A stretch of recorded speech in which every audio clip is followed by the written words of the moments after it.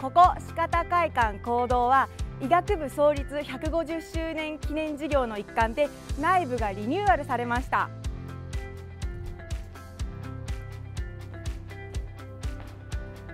入り口にあるレリーフは清水富秀先生です。この建物の竣工にご尽力された生化学教授です。それでは中に入り階段を上がってみましょう。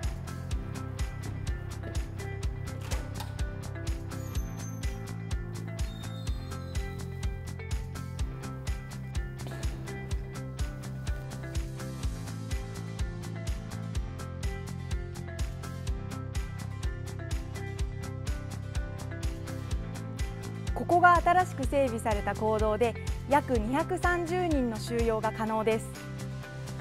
最新のレクチャーシステムを導入しています。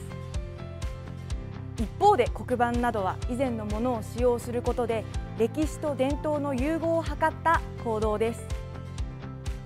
椅子は高級感いっぱい。天井の照明も素晴らしいですね。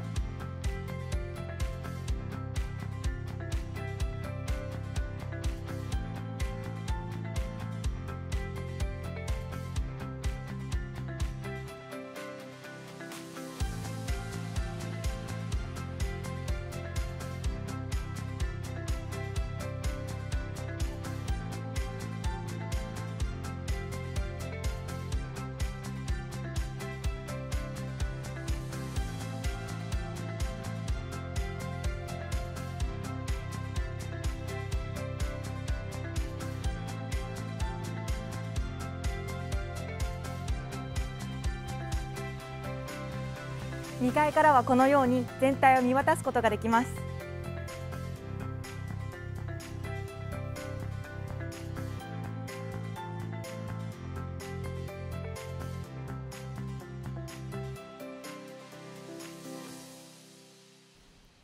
ここは講堂から J ホールに続く通路になります。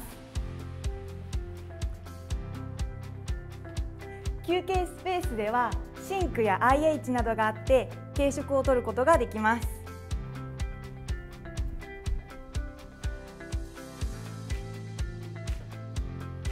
ゲストルームが2つあって J ホールでの公演やコンサートの打ち合わせなどに使われます。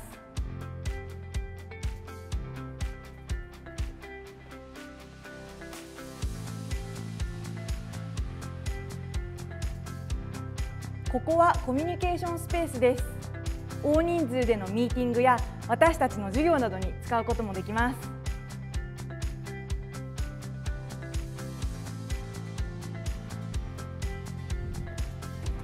出口を出ると J ホールが見えてきました。